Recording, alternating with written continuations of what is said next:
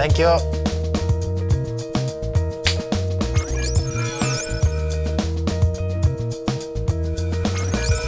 I am the youngest rider to take pole position in MotoGP class.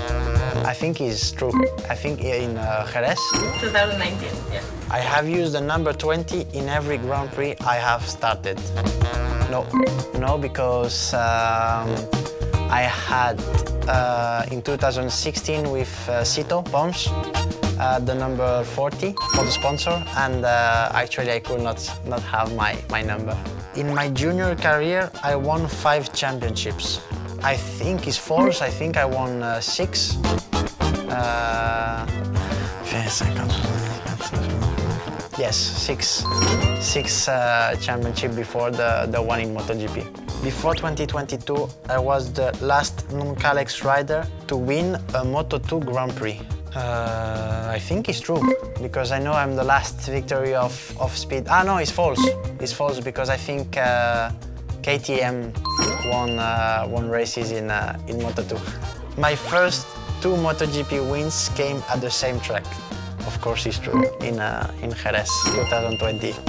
All of my Grand Prix wins have come after starting from the front row. Uh, no, it's uh, false because one I remember well was Qatar 2021 and I start fifth And Portugal 2022. and Portugal 2022.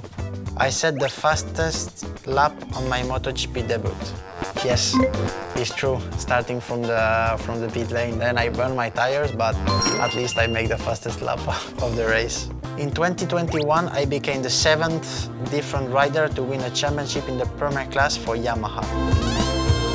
I have no idea, but uh, I think it's uh, true. Is it true? Yeah, but now you have to say the other six that have won with Yamaha, the world champions. Okay, so I have to say Valentino, Jorge, then I have no idea. uh, Wayne Rainey. I, uh, Wayne Rainey, Kenny Roberts, uh, Giacomo Agostini, and Laus- Eddie Lawson. Well done. Thank you. Hi, it's Fabio Quartararo. Hope you give us a like and subscribe.